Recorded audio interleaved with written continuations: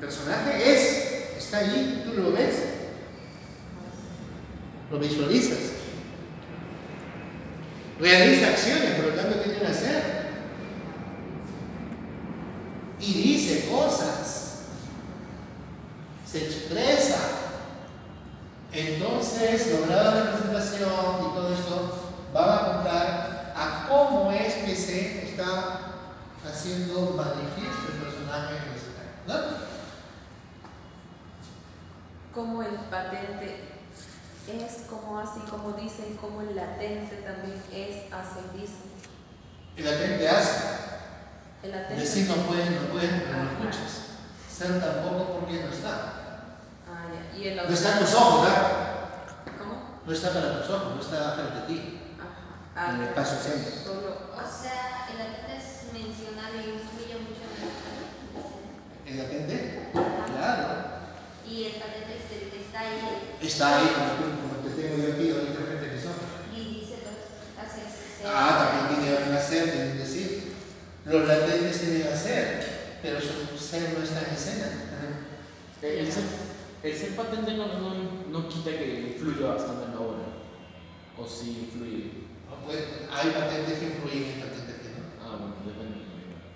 ¿No? Entonces, ausente Simplemente mencionado. No influye en nada. Él no influye en nada. ¿No? No influye en nada. Uh, no hay no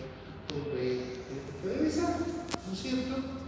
Entonces, es definir el carácter del personaje.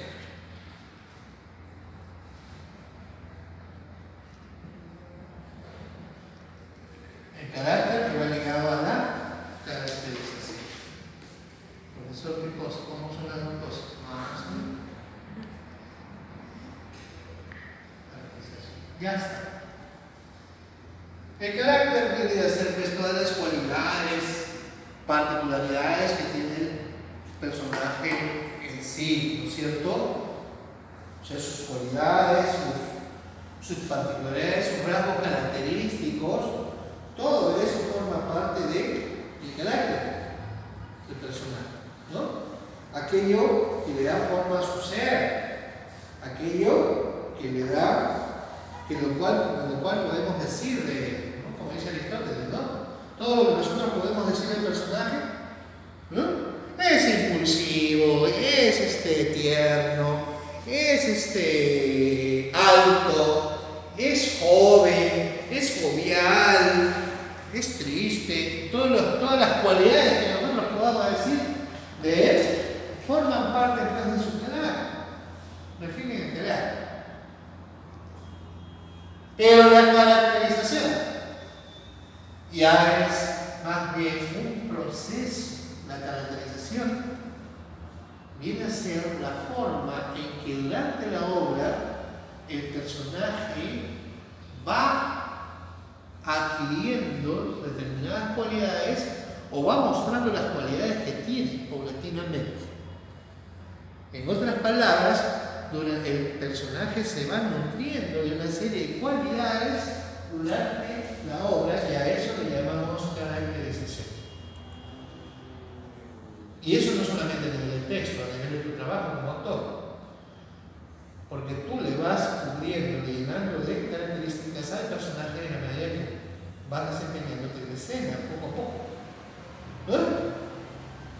Entonces estás caracterizando al personaje. La caracterización es un proceso que se da durante el desarrollo de la obra, del espectáculo. No comprende solamente lo literario, también comprende el escena. Entonces, esa es la caracterización, sucede durante el tiempo. Pero esa caracterización, ¿no es cierto?, que implica todos los atributos y rasgos que tiene que tener el personaje, van a tener pues una estrategia, una manera de desarrollarse.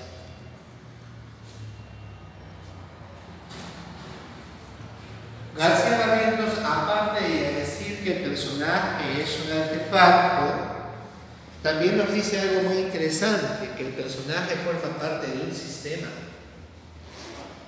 En otras palabras, el personaje no está aislado. está en relación con otros personajes, en una situación dramática, en un conflicto dramático, en un tiempo, en un espacio, en ciertas circunstancias concretas. Por lo tanto, está en un engranaje, no está solito. Personaje forma parte de un sistema. La juventud y belleza de Adela, por ejemplo, en sí sola no tiene sentido si no la contrapongo a la supuesta vejez o marchitez de su hermana Angustias, que es la que es la verdadera enamorada de Pedro Romano, o la prometida. Entonces, a mí me vale la belleza y juventud de Adela en tanto que la opongo a Angustias. Me vale la rebeldía de Adela en tanto que la opongo a Bernarda. Porque de otra manera no tendría valor. O sea, tiene valor en tanto que la relaciono con el resto del sistema. Entonces, mis caracterizaciones, yo tengo que ver cómo esa caracterización se integra a ese sistema. Por ejemplo, me pregunta por misterio. ¿Por qué a algo que misterio tiene que ver sin un agente de bolsa y a la vez barrista? Cosa contradictoria. ¿No es cierto? En la vida real no creo que haya sido así. Pero le sirve pues. Porque misterio gana el liderazgo de la barra sin quererlo o sin buscarlo, no por ser más violento solamente, sino porque le da organización a la barra. ¿Y quién te da organización a la barra? El que sabe gestionar. ¿Quién sabe gestionar? Quien maneja empresa. Eso vendría a ser su caracterización. ¿no? Es un parte de su caracterización, pero mira cómo tiene que ver con la acción dramática. ¿no? Tiene que ver con el sistema. ¿Cuál sería su carácter? ¿Perdón? ¿Cuál sería su carácter? Dentro de su carácter está ser organizado, pero también ser violento. Ser Violento. Misterio violento. Mata. Es capaz de matar. organizado y violento y de ahí cómo, cómo se resuelve en escena es lo que forma su característica. Claro, su- caracterización debería ser cómo es que algo tiene una estrategia para mostrarnos esas facetas de misterio. De violencia, de, O de organización también. o sea, de su carácter. Claro. Por ejemplo, como vas a comer, ¿no? Este, misterio busca las situaciones extremas. ¿no? Si estuviera con una chica acá, lo que sea, es capaz de decirle a la chica, vamos a hacer el amor acá. Oye, pero viene lo que no importa, me, me- me encanta el riesgo, pues, me encanta, me encanta la situación límite de que si te van a sorprender o no. Eso se le va formando a él. Él es parte de su ser. Y él lleva a la chica a un espacio que es casi público y, y- y la, convence de tener relaciones en un lugar donde pueden ser sorprendidos. Porque ahí nace estar en el límite.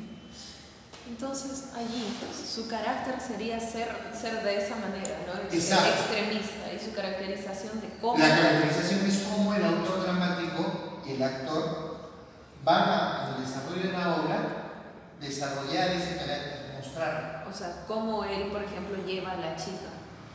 El actor de muchos niveles, ¿no? Por ejemplo, si tuviera que hacer misterio, tendría que escoger un tipo de voz, una, una, una partitura de movimientos corporales que muestren esa violencia o que muestren esa impulsividad o la capacidad de raciocinio como para poder organizar, ¿no? Aparte de los diálogos que ya están dados por algo, el desplazamiento en escena, todo eso va contribuyendo a la car- caracterización. Lo que dicen los otros personajes de él, lo que él dice de sí mismo, como ahorita vamos a ver. Entonces, cuando tú tienes un carácter, tienes una caracterización, esa caracterización implica una estrategia. Hay que tener una estrategia para poder caracterizar. ¿No? Y lo primero que tenemos que tomar como idea es la siguiente. En tanto que el carácter, el personaje, es parte de un sistema, ¿no es cierto? Nosotros primero lo vemos como un paradigma. Es decir, un elemento que tiene una serie de componentes, ¿no? Eje acá. Entonces tú tienes, por ejemplo, misterio. Vamos a ayudar un poco a compañero. Violento. Joven.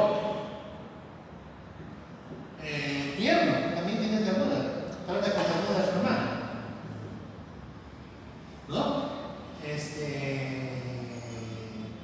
Impulsivo. Ah, mira todas estas características que yo tengo. Tú le puedes componer un montón de características, ¿no es cierto? El actor puede espontáneamente buscarle muchas características. Sí, sí, mira, tiene este. En, en el texto dice tal cosa, pues se le puede agregar más características. Genial. ¿No? Pero esta eh, composición individual, tú tienes que también asociarla a la relación con los otros personajes. Por ejemplo, Tyson.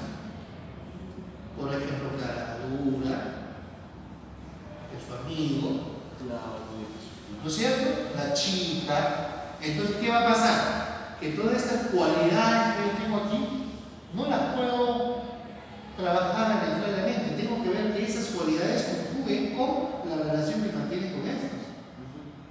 Entonces, por un lado, el personaje es un paradigma porque tiene una serie de posibilidades de ser compuesto. Y en ese paradigma hay la posibilidad de espontaneidad, es decir, el actor espontáneamente puede ir construyendo, pero también está regulado por una, un determinismo, ¿no es cierto? Una suerte de predeterminación. Está predeterminado. ¿Qué quiere decir esto? Que yo no puedo trabajar una cualidad o un rasgo si no lo digo con su relación con los otros personajes. O sea, no es que a mí se me ocurra que sea así. Se me ocurre que sea así porque de esa manera también se puede relacionar con este personaje. Me sirve para relacionar con este, ¿no te das cuenta? O sea, no es que gratuitamente grites. Y eso lo plantea se lo plantea el autor, y cuando tú compones es. ¿No? Si, si quieres hacer a misterio tierno, tierno, tierno, no puedes, porque no, ¿cómo vas a aplicar su verdura cuando le estás sacando la mugre del existe y lo destroza? ¿No? Le tienes que mirar. ¿De acuerdo? Entonces, una de las par- particularidades de la canalización es que el personaje tiene un paradigma, es decir, es individual, tiene una serie de características, pero en la medida que forma parte de un sistema con otros personajes, también está predeterminado en sus rasgos característicos. ¿Ya? ¿Queda claro? ¿Una duda ahí? Ya yo soy una...